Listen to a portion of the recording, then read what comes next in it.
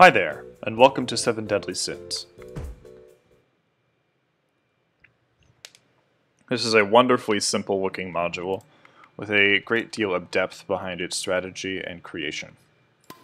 To start, we have seven differently colored buttons that correspond to a specific sin on the arrow chart here, them being lust, gluttony, greed, sloth, wrath, envy, and pride. You'll need to press each button exactly once, and it not only has to follow the arrow chart, meaning that from pride to lust, lust to gluttony, but gluttony can't go to wrath, but it also has to be adjacent to a circle already that's been pressed. So we can start from any circle in this to click to start off, let's say wrath for example. But we can only now go to greed or gluttony. Lucky for us, wrath leads to gluttony, but it doesn't lead to greed, so we'll press gluttony. I'll run an example of this just to get the idea of how to do this manual. Um, gluttony, for example, we have the options of sloth and greed, but if we go to sloth, we'll skip over greed. So I try to obey the outside here as much as I can, just because it's simpler to look at. So let's try greed, then sloth. We've already used wrath, so from sloth we'll take our skip over to envy, and then pride and lust to finish it off. So the general strategy there is pick a circle that works, follow it up, make sure that you don't pinhole yourself into one of these diagrams. Now, understanding this diagram I think is really important to navigating the module because looking at this it can look like a bunch of chicken scratch. Obviously, there's the outside ring, which forms a regular heptagon, seven-sided shape. And then there's this mess on the inside, and it looks sort of like, sort of symmetrical, but what's, what's going on with all these arrows? Well, these are the shapes that are being formed by the arrow patterns. If we swap back and forth really quick, here they are. This blue shape is a heptagram, and this green shape is also a heptagram. We'll look at something really quick called the uh, numbers, which are a description of the vertices, seven in this point, and their turning point, or which vertice they connect to. So you can see that the 1 here represents that the vertice connects directly to the vertice next to it. So 1, 1, 1, 1, 1, 1, 1, heptagon. If we turn it to 7, 2, we get the blue shape here, which is vertice 2, 2, 2, 2, 2, 2, 2. And the third shape in there is also a regular heptagram in 3, 3, 3, 3, 3, 3, 3. So these are the shapes that the arrow paths form. But why is it a little confusing then? Well, if you look at Wrath, you'd expect the vertices to go 1, 2, 3. But it only goes 1, 2, and then coming from Lust, then going to Gluttony. So it's 1, 2, 4, because uh, for the arrow's sake of describing it, uh, the heptagon is clockwise then. The 7-2 heptagram is clockwise. This way. Rather, uh, this way rather. I can't draw it. These arrows are confusing me as well. And the 7-3 heptagram here is not clockwise because it doesn't follow this. It's counterclockwise. That's what makes this module a little tricky, is you have 1, 2, 4 for every single connection. So envy, pride, gluttony, pride, lust, pride, lust, greed, lust, gluttony, sloth, skipping over greed for pride specifically. So that's a little bit of understanding how the module works, understanding how the flowchart works. Now that that's understood, let's try it from an expert perspective instead of just looking at the module. So we have lust, greed, pride, envy, wrath, sloth, and gluttony. From here, we'll choose a starting point that works. And not all starting points work, as we've said before. So if we look at lust, we need a connector of uh, greed or gluttony, which we do. So we can do lust, gluttony, greed following the outside. Do we have sloth? Yes, we do. Four for sloth. Wrath, or Rarth as I wrote, wrath is five. Envy is six.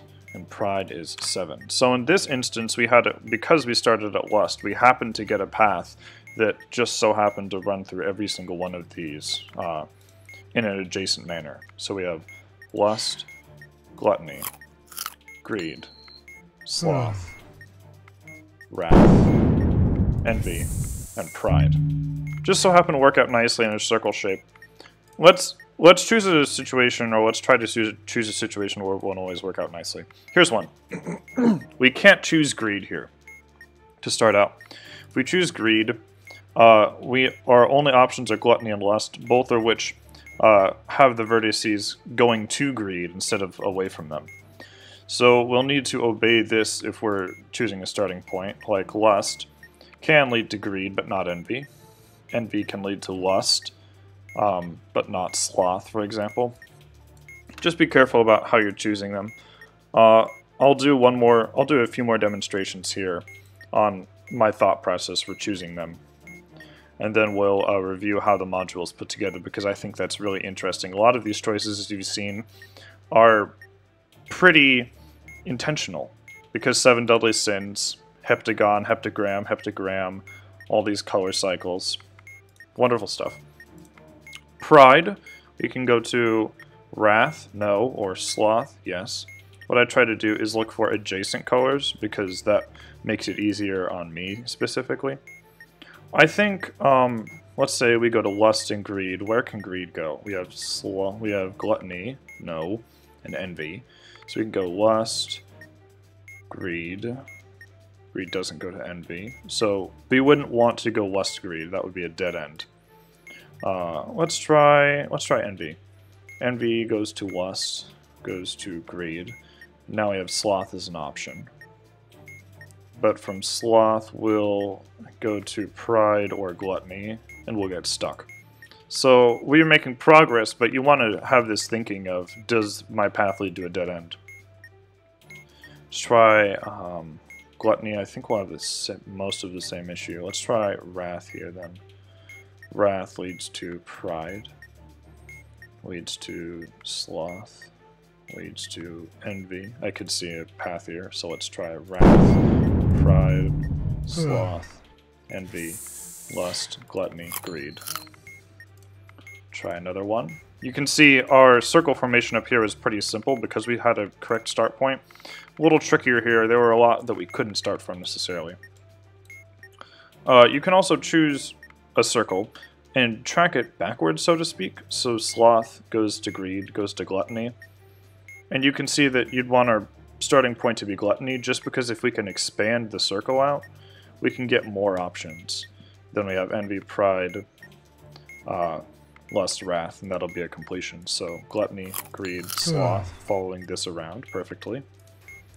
We don't have the option of wrath, so we skip over to envy, follow the circle around, pride, lust, and then down to wrath. Making sure that lust had a path to wrath, or else we'd have to uh, reconform the last few.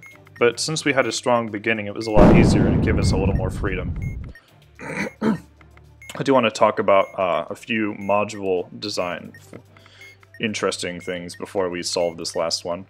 Uh, these symbols here are not on the manual itself, but rather they are from this cute little chart uh, these are simplified versions of a little table on Pinterest, which relate to the seven uh, princes of hell, which are supposed to uh, be the protectors or um, embodiments of these sins. So for greed, we have Mammon, sloth is Belphegor, lust is Asmodeus, pride Lucifer, gluttony Beelzebub, anger Satan, with that little pentagram and the star there, as he's no as in the circle there, as he's known for uh, and envy Leviathan with that uh, counterclockwise circle going in on itself.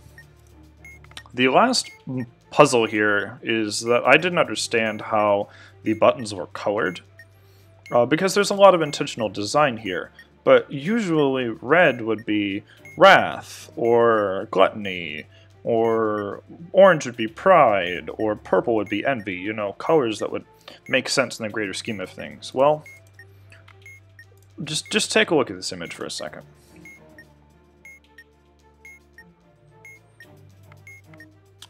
Yeah. I think that speaks for itself. These are based on the SpongeBob characters, so SpongeBob, Squidward, Sandy, Plankton,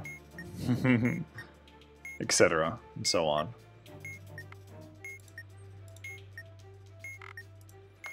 Um, that's about it for the module. We'll solve one more just so you can uh, go through as many of these as possible because this is an open orientation puzzle. There's no right one way to solve it and it can have multiple solutions uh, necessarily. Let's look at greed. Greed goes to pride. Pride goes to sloth. Sloth goes to envy. Envy goes to lust. Lust goes to gluttony. We don't have wrath, so let's not. We have gluttony. Gluttony goes to envy, I guess. Envy goes to neither of those. Start at lust. We'll go to not oh, wrath, I guess. Uh, wrath goes to gluttony. It's a weird backwards pentagram there. It goes to envy, envy goes to greed, greed goes to pride, and pride goes to sloth. Wow, we're tracing the backwards pentagram there. So I think path was lust, wrath, gluttony, envy, greed, pride, sloth. yes. You can see the path we took there was pretty non-standard. We're following this heptagram there, but we did have one of the shapes in its totality. We just had to look a little closer at the inner machinations of it. Uh, that's Seven Deadly Sins. I think it's an absolutely wonderful module. It's simple, it's complex in its design, it has a lot of thought behind it. Uh, uh, I like it a lot. And I hope you do too, and I hope you've learned something from watching this. And thank you so much for watching this. Uh, hopefully now you've learned a little more, some, you've learned something a little more about uh, Seven Deadly Sins.